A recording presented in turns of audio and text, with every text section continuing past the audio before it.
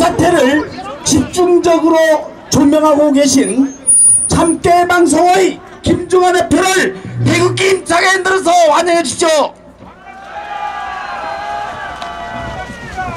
네네 큰 박수 보내드립시다. 존경하는 부산 시민 여러분 안녕하십니까?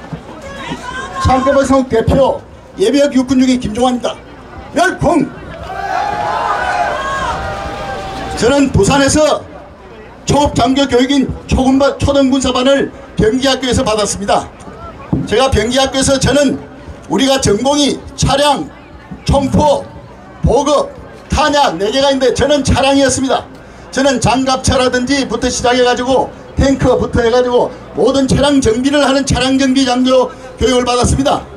그런데 제가 왜 이런 말을 하느냐면 최근에 제가 광주 사태 당시 광주시 의사회의 의료 보고서를 제가 다시 읽어봤습니다. 그랬더니만 놀랍게도 M16 소총 안에다가 납탄을 사용해가지고 흡사 그것이 공수부대가 양민에게 납탄을 사용해가지고 만행을 저진 걸로 학살을 저지르고 그렇게 기록이 되어 있습니다.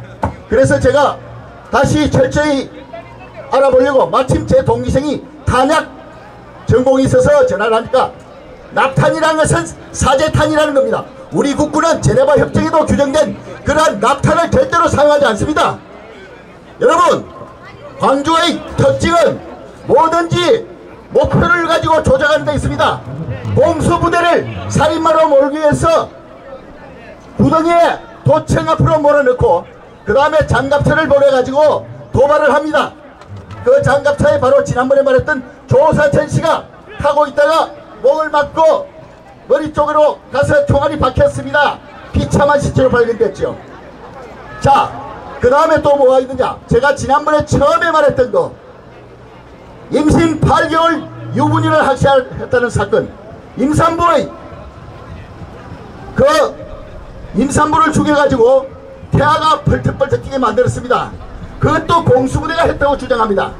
그러나 그 사건이 자 현장인 공중전화 박스에서 전화를 걸다가 죽었다고 전주교 보고서에 분명히 나와 있는데 그것도 어떻게 말하느냐 시장통에 맨홀 뚜껑 위에서 죽었다고 이렇게 되어 있습니다.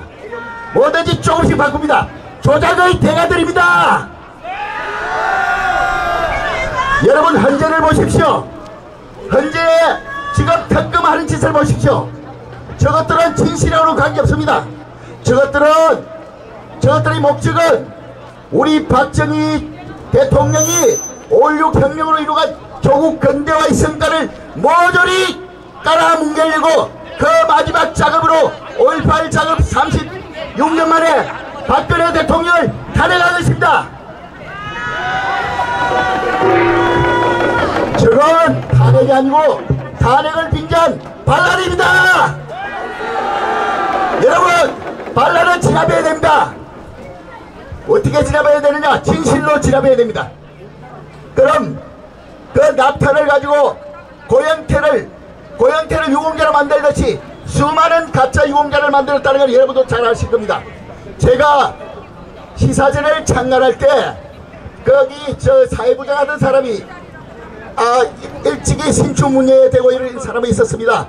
광주 사람인데요. 이 사람이 제가 미국에서 2004년에 귀국하니까 저한테 갑자기 유공자 5.18 유공자증을 보이면서 자랑을 했습니다. 아 이것만 있으면 비행기도 반값이라는 겁니다. 그런데 그 사람이 왜 유공자가 됐느냐 김대중 내란 업무에 가담해가 형을 살았기 때문입니다. 여러분 김대중 내란 업무는 사실입니다.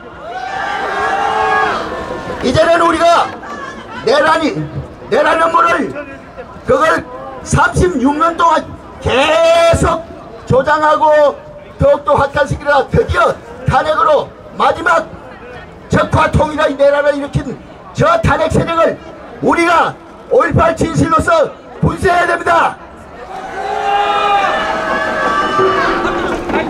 김대중이 어떻게 했는지 제가 봤습니다. 1971년 4월달 제가 고등학교 부산고등학교 3학년 때였습니다. 조방 앞에서 유세를 했습니다. 박정희 대통령도 유세를 했습니다. 근데 그때 부산 사람들이 어리석어가지고 김대중한테 30만 표를 줬습니다. 제가 기록을 보니까 박정희 대통령한테 몇 표를 줬느냐 38만 표를 줬습니다. 여러분 박정희 대통령 입장이 되어 보십시오. 조국 근대화를 해가지고 먹고 살만하니까 민주안이 거기 속아가지고 간첩한테 속아내 보니까 얼마나 복장이 터졌겠습니까? 우리가 너무했습니다. 우리는 조국 근대화의 아버지한테 너무했습니다. 그런데 김대중이가 그 제가 이제 그 선거 기록을 엊그제 다 봤습니다. 김대중이가 선거 끝나자 뭐냐나 지역 감정을 박정희 대통령이 유발했다는 겁니다. 맞습니까? 누가 지역 감정으로 가장 득을 받습니까? 김대중 아닙니까? 그런데 5.18은 북한군이 온 게 어떻게 드러났느냐? 여러분 국정감사만 똑바로 했더라도 됩니다. 국회 청문회 기록에 우리 공수부대하고 광주에 있는 일반 부대하고 싸움해가지고 공수부대가 당했다고 주장하는 사건이 있는데 사실은 그걸 일으킨 게 북한 간첩이 중간에서 일으킨 겁니다. 그런데 거기서 그 싸움 뒤에 트럭이 한 대 따라갔습니다. 우리 공수부대에 민간인 트럭이 있는데요. 그런 공산 땅 알치산 숙법이 나오는데 모든 국군의 뒤에는 항상 빨치산이 따라다닙니다. 강동 정치학원이라는 그 빨치산 수기에 나와 있습니다. 그래서 그놈들이 국군한테 맞았다면서 새놈을 끌고 산으로 가더라는 마을 주민들의 증언이 있습니다. 산으로 가는데 한 놈은 끌고 가고 한 놈은 걸어가고 한 놈은 이렇게 부축해 가더랍니다. 그게 다 북한 특공대입니다. 왜 특공대냐? 그놈들이 머물렀던 곳에 동네 이장이 일주일 뒤에 올라가 보니까 소뼈가 소 한 마리 분의 소뼈가 논밭에 쌓여 있더라는 겁니다. 거기는 깊은 산골이라서 거기 소를 잡아볼 일이 없어요. 그런데 희한하게도 그 당시 24당 광주에 온 24당 식육 공급업자가 증언했습니다. 광주에 내려간 우리 국군 부대는 모두 다 자체적으로 부식 시스템에 의해서 주부식 시스템에 의해서 소고기, 닭고기 다 공급받았지 그렇게 소를 잡아먹는 것은 없었다는 겁니다. 그러면 제가 북한에서 탈출해가지고 대왕버섯을 경영하고 있는 김유송 전 상장에 물었습니다. 아 이게 어찌된 일일까? 북한군에서는 3년, 10년 이상 복무하기 때문에 모든 돼지, 소를 부대에서 자체적으로 도출한다고 했습니다. 그렇기 때문에 3년 정도만 근무하면 누구라도 소를 다 잡아먹는다고 했습니다. 그 소뼈가 나왔다고 마을 사람들이 증언하는데도 그때도 청문회를 누가 주도했느냐 민정당은 참석 안 하고 지금 또 지금 또 탄핵 저태판 모양으로 온통 전라도 사람으로 일색으로 조사를 했습니다.